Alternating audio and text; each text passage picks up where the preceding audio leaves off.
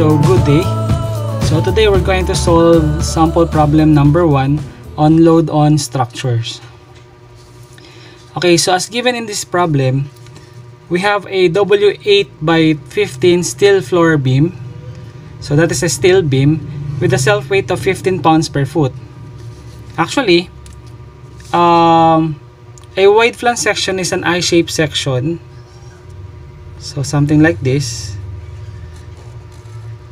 okay?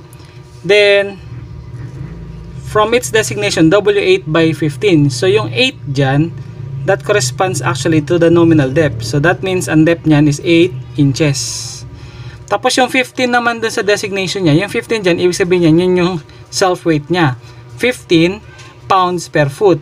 So kada 1 foot linear length perpendicular to this uh, section ang bigat niya is 15 pounds So, yun yung ibig sabihin ng designation na 8 by 15. Now, so, from the figure, here is the W8 by 15 wide flange uh, beam. So, nasa ilalim siya.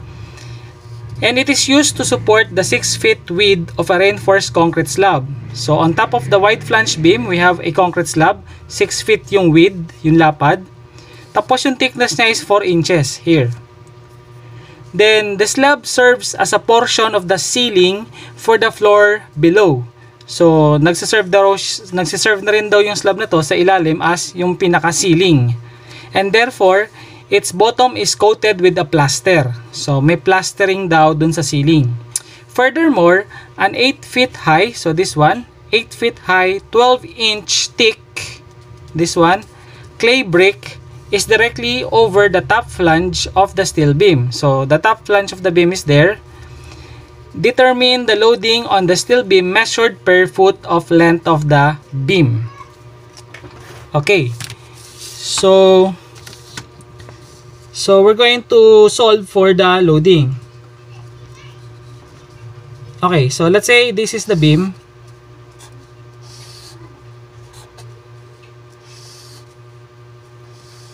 Okay, so that's the wide flange beam. So we're going to identify what are the loadings. So this would be let's say the W. That is the ultimate or the uniform load. So yan yung nahanap yung W. Okay? Now, so let us identify what are the loadings. Okay. So first, um, so identify uh, loads, the different loads. Okay, una, it will have the self weight the beam self weight sariling bigat niya. And that is actually given as 12 pounds per foot. So 12 pounds per foot. So okay na yan. Now next is yung concrete uh, slab. Reinforced concrete slab. So RC slab. Okay. So since the slab is made of concrete So, we need to solve or identify the density. So, I have here the table 1-2, minimum density for the design loads for materials. So, this table is uh, comes from the book of Hibbeler. So, di bali, ano to, sa US. Okay, so, we will look into um, concrete. Okay, so, there you have the concrete. So, concrete in reinforced stone. So, we have 150. Okay, so that is 150 150 that is pounds per cubic foot kasi density nga. Okay, so para makuha natin yung yung load uh, coming from this 6 feet na width na slab so we're going to multiply it with the width.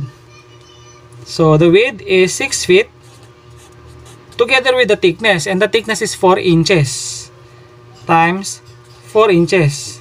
Kaya lang this is feet. Convert natin yung inches to feet. Diba? 1 feet 1 foot is equivalent to 12 foot. So that is density times the width 6 feet and the, the thickness of the concrete slab 4 inches. So this would be square foot square uh, cubic foot. So this, this would become pounds per foot na lang. Okay, so 150 times 6 times 4 um, divided by 12. So we got 300 pounds per foot. So that is uh, the weight of the concrete slab. Now next, since this slab, this slab uh, serves as a ceiling, 'di ba? Then sabi dun sa problem, meron daw uh, coating tayo na plaster with the ceiling.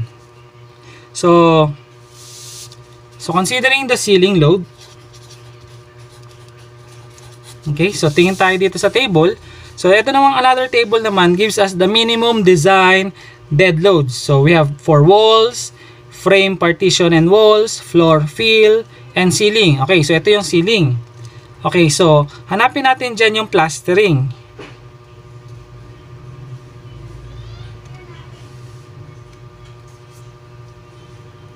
Okay.